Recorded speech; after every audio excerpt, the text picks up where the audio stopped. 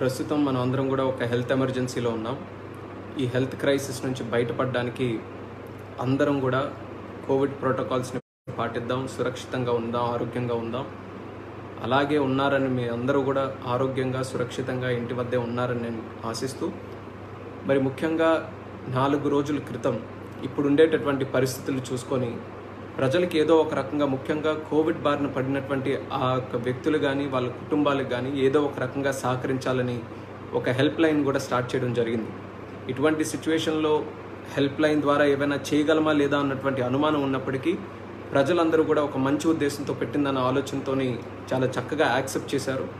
ఈ నాలుగు రోజులు కూడా ఈ తొంభై ఆరు గంటల్లో చాలామంది సుమారు రోజుకి రెండు వందల వరకు కాల్స్ కానీ లేకపోతే మెసేజెస్ కానీ ఆన్లైన్ సోషల్ మీడియా ద్వారా రిక్వెస్ట్ కానీ ఇవన్నీ కూడా పంపించడం జరిగింది.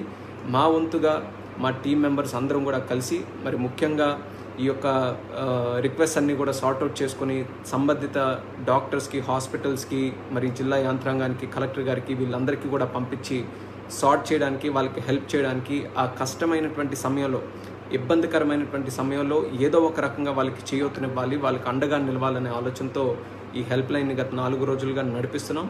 మరి దానికి సహకరించిన వారందరికీ కూడా నా కృతజ్ఞతలు నా ధన్యవాదాలు తెలియజేసుకుంటున్నాను. అందులో ముఖ్యంగా మా జిల్లా కలెక్టర్ గారు మరి జిల్లాలో ఉన్నటువంటి యాంత్రాంగం హాస్పిటల్లో డాక్టర్స్ ఫ్రంట్ లైన్ వర్కర్స్ వీళ్ళందరికీ కూడా. ఎందుకనంటే దీనివల్ల లో లోపల ఉన్నటువంటి పరిస్థితులు ఏంటో ఎవరెవరు ఎటువంటి పరిస్థితుల నుంచి పాస్ అవుతున్నారు అనేది స్పష్టంగా చూ చూసే అవకాశం కూడా నాకు ముఖ్యంగా తెలిసింది. మరి అందులో భాగంగా పనిచేస్తున్నటువంటి వారందరికీ కూడా నా ధన్యవాదాలు తెలియజేసుకుంటున్నారు. అలాగే మా కోవిడ్ హెల్ప్ లైన్ కూడా మేనేజ్ చేయడానికి వాలంటీర్స్ కూడా చాలామంది ముందుకు వచ్చారు వాళ్ళందరికీ కూడా నా తాలూకా కృతజ్ఞతలు తెలియజేసుకుంటున్నాను ఈ యొక్క హెల్ప్ లైన్ కూడా ముందుకు నడిపించడానికి. అయితే హెల్ప్ లైన్ ద్వారా మాకు వచ్చినటువంటి మెయిన్ రిక్వెస్ట్ కూడా కొన్ని ఏంటంటే ఎక్కువగా వచ్చేటటువంటివి అందరికీ కూడా తెలిసిందే ఆక్సిజన్ బెడ్స్ కోసం వెంటిలేటర్స్ కోసం. ఆ సమయంలో మాకు వెంటిలేటర్ బెడ్ అందట్లేదు. మేము మూడు రోజులు ఉన్నాం ఆరు మూడు గంటలు ఉన్నాం ఆరు గంటలు ఉన్నాం రెండు రోజులు అవుతుంది. మాకు ఇంకా మూవ్ చేయలేదు అన్నటువంటి రిక్వెస్ట్ చాలా ఎక్కువగా ఉన్నాయి. అలాగే వన్ జీరో ఫోర్కి మేము ఫోన్ చేస్తే అసలు రెస్పాన్స్ ఉండట్లేదు అన్నటువంటి రిక్వెస్ట్ చాలా వరకు మాకు వస్తున్నాయి. మరి అలాగే ప్లాజ్మా కోసం ఇది చాలా ముఖ్యమైనటువంటి విషయం. మళ్ళీ మళ్ళీ ఈ వీడియో చూస్తున్న వారికి కానీ ప్రతి ఒక్కరికి కూడా నేను తెలియజేసుకుంటున్నాను. ప్లాజ్మా రిక్వెస్ట్ కూడా చాలా ఎక్కువగా ఉంటున్నాయి. దయచేసి ఎవరైనా సరే కోవిడ్ నుంచి బయటకు వచ్చినటువంటి వ్యక్తులు కోవిడ్ నుంచి మరి మెరుగుపడినటువంటి వ్యక్తులు ఎవరైతే ఉన్నారో వాళ్ళందరూ కూడా వీలైనంత వరకు ప్లాజ్మాని మీరందరూ కూడా డొనేట్ చేయండి. మీ వల్ల ఒక ప్రాణం కాపాడేటటువంటి అవకాశం మీ అందరికీ కూడా ఉంది. మీ ప్రాణాలు కాపాడుకున్నారు. అలాగే ఈరోజు వేరే వ్యక్తి తాలూకు ప్రాణం కాపాడే అవకాశం ఉంది కాబట్టి ఖచ్చితంగా మీరందరూ కూడా ఎవరికి అవకాశం ఉన్నా సరే ప్లాస్మా మాత్రం ఖచ్చితంగా మీరు అందరూ కూడా డొనేట్ చేయండి. ఎందుకంటే మాకు వచ్చినటువంటి రిక్వెస్ట్లో అత్యధికంగా ప్లాస్మా కోసం కూడా చాలా ఎక్కువగా వస్తున్నాయి. సో ప్లాజ్మా రిక్వెస్ట్ కూడా మీరు మీరందరూ కూడా డొనేట్ చేయడానికి ప్లాస్మాది కూడా చేయండి అని రిక్వెస్ట్ చేస్తున్నాను. అలాగే చాలామంది హెల్ప్ లైన్ ఫోన్ చేసి uh, uh, ముఖ్యంగా హాస్పిటల్స్లో కొంతవరకు కూడా స్టాఫ్ కొరత ఉండి లేకపోతే స్టాఫ్ సరిగ్గా చూసుకోవట్లేదని భోజనం సరిగ్గా అందట్లేదని హాస్పిటల్కి సంబంధించినటువంటి కొన్ని కాల్స్ కూడా వస్తున్నాయి. ఎందుకంటే ప్రజలకు కూడా తెలియాలి. ఇప్పుడు మేము ఇది చేస్తున్నటువంటి విషయం కూడా uh, ఏం జరుగుతుంది అసలు ఎటువంటి పరిస్థితులు ఉన్నాయనేది ప్రజలకు కూడా తెలియజేయాలనే ఈరోజు ఈ లైవ్ ద్వారా మీకు మళ్ళీ కనెక్ట్ అవుతున్నాను. ఈ రిక్వెస్ట్ అన్నీ వస్తున్నాయి. మాకు వీలైనంత వరకు ఆ రోజు హెల్ప్ లైన్ పెట్టినప్పుడు కూడా నేను చెప్పినట్టు ఒక అనుమానం ఉన్నప్పటికీ వంద మంది ఫోన్ చేసి ఏదో ఒక కారణంతో ఫోన్ చేసి మాకు రిక్వెస్ట్ చేస్తే అందులో ఒక్కరికైనా సరే మేము సాయం చేయగలిగితే అసలు ఏమీ చేయకుండా ఉన్నదానికంటే ఒక్కరికైనా సాయం చేయడం మంచి ఆలోచన అని చెప్పి ఆ కోవిడ్ హెల్ప్ లైన్ కూడా స్టార్ట్ చేసాం. సో మా ప్రయత్నం మేము చేస్తున్నాం. ఈరోజు పది మందిలో ఇద్దరికో ముగ్గురుకో నలుగురికో వరకు మేము యావరేజ్గా చేయగలుగుతున్నాం హెల్ప్ చేయగలుగుతున్నాం. మిగతా ఆరు పెండింగ్లో ఉండిపోతున్నాయి. ఎంత ప్రయత్నించినప్పటికీ కూడా సరైన విధంగా ఇన్ఫ్రాస్ట్రక్చర్ లేనందువల్ల బెడ్స్ ఎక్కువగా లేనందువల్ల వెంటిలేటర్స్ ఎక్కువగా లేకపోవడం వల్ల వాళ్ళకి సరైనటువంటి సమయానికి మూవ్ చేయాలన్నా దానికి అందుబాటులో తీసుకొని రావాలన్నా మా వల్ల కావట్లేదు. కాబట్టి మా ప్రయత్నం మాత్రం ఇంకా చేస్తూనే ఉంటాం. ఎవరు ఫోన్ చేసినా సరే మేము ఫోన్ కాల్ అటెండ్ అవుతాం మెసేజ్ అటెండ్ అవుతాం. ఆ మెసేజ్ని సరైనటువంటి వ్యక్తులకి పంపిస్తాం ఒత్తిడి తీసుకొని వస్తాం. ఖచ్చితంగా అది చేసే విధంగా మేము వాళ్ళతో కూడా సంప్రదింపులు చేస్తామని మా కోవిడ్ హెల్ప్ లైన్ ద్వారా ప్రజలకు అందరికీ కూడా మళ్ళీ మేము విన్నపం తెలియజేసుకుంటున్నాం. అయితే ముఖ్యంగా ఇందులో పాయింట్అవుట్ చేయాల్సినటువంటి విషయం ఏంటంటే ఇన్ఫ్రాస్ట్రక్చర్ తాలూకు లోపాలు. ఈరోజు ఈ ఈ యొక్క ప్రాసెస్ ఈ హెల్త్ ఎమర్జెన్సీ ఈ క్రైసిస్ కూడా మనకు స్టార్ట్ అయ్యి సుమారు ఒక నెల రోజులు అవుతుంది. ఈ నెల రోజుల్లో కూడా ప్రభుత్వం సరైనటువంటి విధంగా స్పందించకుండా ఈ రోజు ఉన్నటువంటి ఇన్ఫ్రాస్ట్రక్చర్లో ఏవైతే లోపాలు ఉన్నాయో ఏవైతే డెఫిషియన్సీస్ ఉన్నాయో దాని మీద స్పష్టంగా వాళ్ళు సరైనటువంటి మీటింగ్స్ పెట్టుకొని ఎక్కడ ఏ విధంగా మనం పెంపొందించుకుంటూ వెళ్ళాలన్న ఆలోచనతో ఈరోజు ప్రభుత్వం ముందుకు వస్తే చాలా వరకు రోజు రోజుకు పరిస్థితులు బాగుండే అవకాశం ఉండేది. కానీ ఈరోజు నాలుగు రోజులు కానీ పది రోజులు కానీ పదిహేను రోజులు కానీ ఏ పరిస్థితులు మనం చూస్తున్నామో ఈ రోజు వరకు అదే పరిస్థితులు చూస్తున్నాం. ఇంకా కేసెస్ పెరుగుతున్నాయి. ఇంకా సీరియస్గా క్రిటికల్గా ఉన్నటువంటి పేషెంట్స్ తాలూకా నంబర్ పెరుగుతుంది. డెత్స్ పెరుగుతున్నాయి. కాబట్టి ఇప్పటికైనా సరే ప్రభుత్వం రాజకీయాలు మాని సరైనటువంటి విధంగా ఇన్ఫ్రాస్ట్రక్చర్ పెంచడానికి వాళ్ళు ఇప్పటికైనా ఆలోచించి చేయగలిగితే వాళ్ళకి ఈ యొక్క కోవిడ్ క్రైసిస్ని అరికట్టడానికి ఒక మంచి అవకాశం వాళ్ళకు ఉందనేది మళ్ళీ మళ్ళీ మేము గుర్తు చేస్తున్నాం. ఎందుకనంటే కొంతమంది ఫోన్ కాల్స్ నేను కూడా డైరెక్ట్ మాట్లాడినప్పుడు ఎంత బాధగా ఉందనంటే ఆక్సిజన్ పెట్టుకొని ఆటోల్లో అంబులెన్స్లో వాళ్ళ సొంత వెహికల్స్లో హాస్పిటల్స్ బయట వెయిట్ చేసి మరీ ఫోన్ చేస్తున్నారు. మేము సుమారు పన్నెండు గంటల నుంచి లేకపోతే ఒక రోజంతా మేము వెయిట్ చేస్తున్నాం. మాకు ఇంకా బెడ్ దొరకట్లేదు. అసలు ఖాళీ లేవని అంటున్నారు ఎవరికి ఫోన్ చేసినా సరిగ్గా స్పందించట్లేదు. ఎవరికి వాళ్ళే బిజీగా ఉండామని అంటున్నారు సో అటువంటి పరిస్థితుల్లో కూడా ఫోన్ చేస్తున్నారు. ఇంకా నిన్న మేము చూసుకుంటే ఒక వ్యక్తి ఐసీయూ నుంచి డైరెక్ట్గా ఊపిరి ఆడినటువంటి పరిస్థితుల్లో కూడా మాకు ఫోన్ చేసి మాకు కాపాడండి ఈ హాస్పిటల్లో ఉన్నాను నాకు మెరుగైన వైద్యం అందించడానికి ఒక మాట చెప్పండి అని ఒక ఎంపీగా నేను ఉన్నానని నాకు ఫోన్ చేసి కూడా డైరెక్ట్గా మాట్లాడి చెప్తున్నారు. ఇలాంటి సంఘటనలు ఎన్నెన్నో హృదయాన్ని కలిచి వేసేటటువంటి సంఘటనలు ఈ నాలుగు రోజుల్లో నా హెల్ప్ లైన్ ద్వారా ఎన్నో విన్నాను.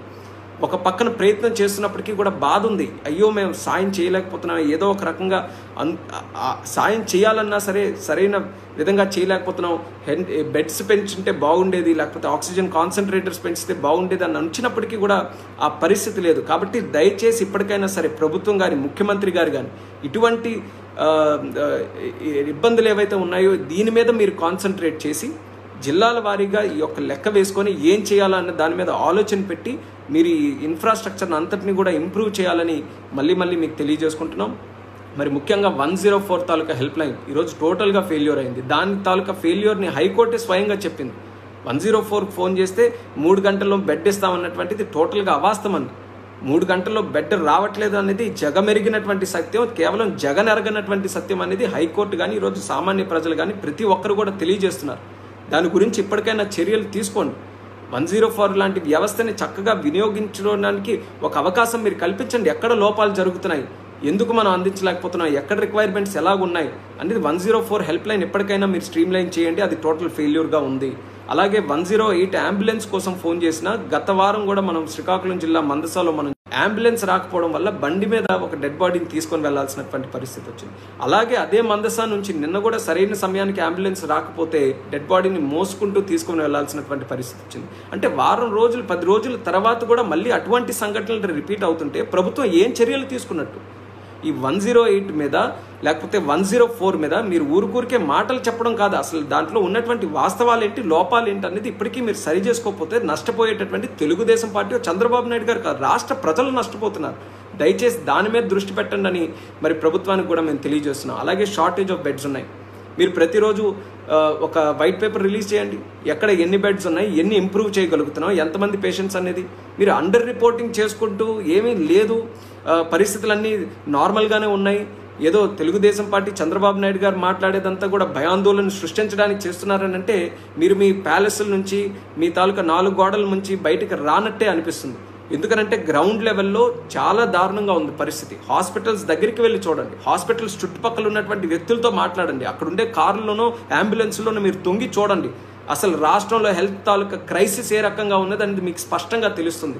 అటువంటి వాస్తవాలు తెలుసుకొని వాస్తవాలకి అనుగుణంగా ఏ చర్యలు తీసుకుంటుందో ప్రతిరోజు కూడా రాష్ట్ర ప్రజలకి చెప్పి వాళ్ళలో ఒక నమ్మకం కల్పించి అయ్యో మా ప్రభుత్వం మా కోసం ఇది చేస్తుందన్నటువంటి నమ్మకం మీరు కల్పించాల్సింది పోయి ఎంతసేపు కూడా రాజకీయ విమర్శలకే ఇంకా మీరు దారితీస్తామనంటే రాష్ట్రం బాగుపడేదెప్పుడు ఈ కోవిడ్ నుంచి మనం బయటపడేది ఎప్పుడు ఈరోజు ప్రతి డిలే కూడా మీరు చేస్తున్నందుకు ప్రతి ఒక్క కార్యక్రమాన్ని మీరు అవహేళన చేసి మరి సరైన పద్ధతిలో చేయనందుకు ఈరోజు ఎంతమంది ప్రాణాలు కోల్పోతున్నారనేది ఒక్కసారైనా సరే మానవత్వంతో ఆలోచించమని జగన్మోహన్ రెడ్డి గారి కానీ ప్రభుత్వానికి కూడా నేను సూచిస్తున్నాను. అలాగే ఈరోజు స- బెడ్స్ పెంచడం ఆక్సిజన్ బెడ్స్ కానీ వెంటిలేటర్స్ కానీ ఇవన్నీ కూడా పెంచాల్సినటువంటి అవసరం ఉంది. దాని మీద దృష్టి పెట్టండి. ఏదో సప్లై తీసుకొని రండి ప్రైవేట్ వ్యక్తులతోనైనా మాట్లాడండి డబ్బులు ఖర్చు పెట్టండి ప్రభుత్వం తాలూకు ఖర్చు పెట్టి ఇన్ఫ్రాస్ట్రక్చర్ని మీరు ఇంప్రూవ్ చేయండి. అలాగే ఇంజెక్షన్స్ ఉన్నాయి. ఇంజెక్షన్స్ కేవలం రెమిడెసివిరే కాదు దానికి అను దానికి తోడు ఇంకా ఇంజెక్షన్స్ గురించి ఇంకా డ్రగ్స్ కోరుకుంటున్నారు చాలామంది. రెమిడెసివిర్ ఇచ్చామండి దాని తర్వాత కావాల్సినటువంటి టొకిలిజం కానీ ఇంకా రకరకాలైనటువంటి డ్రగ్స్ ఉన్నాయి. ఈ డ్రగ్స్ అసలు అవైలబుల్ లేవు. ఇటువంటి ఉన్నా సరే మేము ప్రాణాలు కాపాడుకోగలమని సామాన్య ప్రజలు హాస్పిటల్స్ చుట్టూ ఎవరెవరికో ఫోన్ చేసి రాష్ట్రాలు విదేశాలు అందరికీ ఫోన్లు చేసి తెప్పించుకునే ప్రయత్నం చేస్తున్నారు. కనీసం అటువంటి విషయాల్లోనైనా సరే ప్రభుత్వం చొరవ తీసుకోకపోతే ఈరోజు రాష్ట్ర ప్రజలు తాలూకా దిక్కేంటనేది కూడా ఒకసారి ఆలోచించాల్సినటువంటి అవసరం ఉంది. కాబట్టి డ్రగ్స్ మీద కూడా ఈరోజు అవసరమైనటువంటి డ్రగ్స్ మీద మీరు ఏ రకంగా దాన్ని ప్రొక్యూర్మెంట్ చేసుకోవాలన్నటువంటి ఆలోచనతో కూడా ప్రభుత్వం ఇచ్చేయాలి అలాగే ముఖ్యంగా ఇది రాజకీయ విమర్శ అయితే కాదు కానీ ప్రస్తుతం జరుగుతున్నటువంటి పరిస్థితులు. మొన్న కూడా నేను మాట్లాడినప్పుడు చెప్పాను. ఎంతకాలం కూడా తెలుగుదేశం పార్టీని నాయకుల్ని చంద్రబాబు నాయుడు గారిని విమర్శించడానికి. ఈరోజు మీరు క్యాబినెట్ మీటింగ్ పెట్టుకున్నారు. ఎందుకు పెట్టుకున్నారు? ఒక హెల్త్ క్రైసిస్లో ఉన్నటువంటి రాష్ట్రం దేశం ఉన్నప్పుడు ఒక క్యాబినెట్ మీటింగ్ పది మంది మంత్రులు ముఖ్యమైనటువంటి మంత్రులు ముఖ్యమంత్రి గారు అధికారులు అందరూ కూడా కలిసి కూర్చున్నారనంటే రాష్ట్రంలో ప్రయారిటీగా ఉన్నటువంటి ఈ ఇష్యూ మీద మీరు చర్చించుకొని ఏం చేయబోతున్నాం అన్నటువంటిది ఒక సంకేతం రాష్ట్ర ప్రజలకు పంపించాలి. భవిష్యత్తులో ఏ రకమైనటువంటి చర్యలు తీసుకుంటున్నామో వివరించి అవగాహన కల్పించాలి. ఇవన్నీ పోయి క్యాబినెట్ మీటింగ్ అవుతానే ప్రతి ఒక్క మంత్రి కానీ ఎవ్వరు మాట్లాడినా అరగంట సేపు.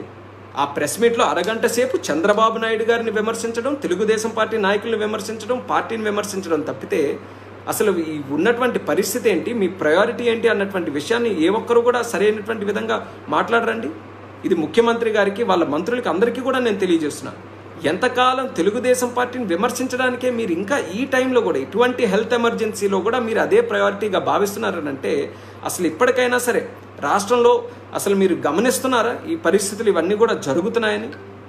మరి క్యాబినెట్ మీటింగ్ పెట్టిన తర్వాత కూడా ఎంతో ఆశగా ఏదో బెడ్స్ పెంచుతారనో లేకపోతే ఇంజెక్షన్స్ తీసుకొని వస్తారనో దీని మీద ఏదో వ్యాక్సినేషన్ అందరికీ ఇప్పించే నిర్ణయం ఏదైనా తీసుకుంటారనంటే టోటల్గా డైవర్ట్ చేసే విధంగా ఒక అరగంట సేపు అంతా కూడా తిట్టడానికి సరిపోతుంది. మరి మిగతాదన్నీ కూడా డెసిషన్స్ ఎలాంటివండి? ఇల్లు పట్టాలు పంపిణీ చేయండి ఇల్లులు కన్స్ట్రక్ట్ చేయండి.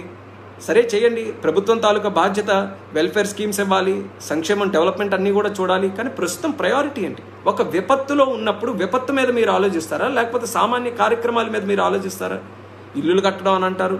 విశాఖపట్నంలో వెంటిలేటర్ బెడ్స్ కోసం ఏడుస్తూ ఉంటే వెంటిలేటర్ బెడ్స్కి సంబంధించి ఎటువంటి నిర్ణయం తీసుకోకుండా ఆక్సిజన్ బెడ్స్ కోసం ఎటువంటి నిర్ణయం తీసుకోకుండా స్టాఫ్ గురించి ఎటువంటి నిర్ణయం తీసుకోకుండా ఫ్లోటింగ్ రెస్టారెంట్ పెడతామని చెప్పి మాత్రం క్యాబినెట్లో ఇటువంటి ఎమర్జెన్సీ సమయంలో క్యాబినెట్లో మీరు ఒక నిర్ణయం తీసుకున్నారంటే అది ప్రజలకి మీరు ఇప్పుడు ఏదో చాలా గొప్ప కార్యక్రమం మేము చేసామన్నట్టుగా మీరు చెప్తున్నారనంటే అసలు ఏమనాలి?